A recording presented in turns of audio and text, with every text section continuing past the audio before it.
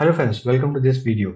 In this video, I'm going to show you the fastest way of typing fractions in Microsoft Word. Whenever you type a fraction, say 1 by 2 and then press space, so some fractions get automatically converted into a nicely looking fraction like this. However, this is only applicable for these few fractions like 1 by 2, 1 by 4 and 3 by 4. But if you want to type some other fractions, then how to type it? For example, fraction 5 by 8 doesn't get converted into nicely looking fraction. So how do you type all the fractions in this pretty way?